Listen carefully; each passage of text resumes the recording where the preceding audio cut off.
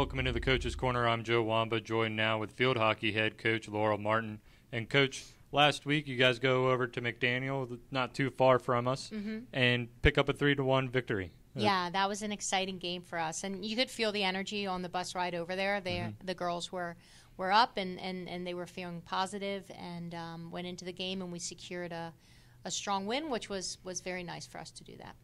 And then 5 2 against Alvernia on Saturday. Mhm. Blair picking up two defensive saves.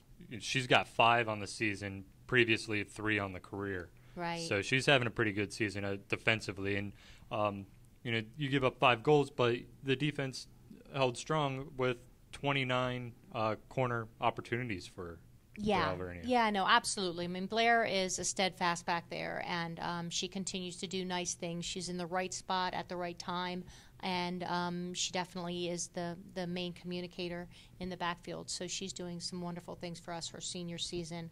Uh, and then our defensive penalty corner unit, um, including a freshman goalie and multiple underclassmen that are in the mix there, um, are are stopping a significant amount of attack penalty corners against us. So we feel as if we're very well practiced in that area, but we're rejecting some some strong opponents with um, with our defense penalty corner unit. So I'm pleased with that as well. And you mentioned the unit being young. That leads to optimism for seasons in the future and Right. and the rest of this season as well.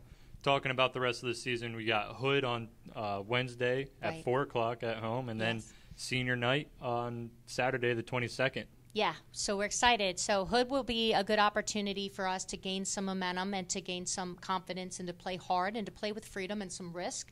Um, and uh, going into the Saturday weekend, it's a big weekend for us. Obviously, it's homecoming.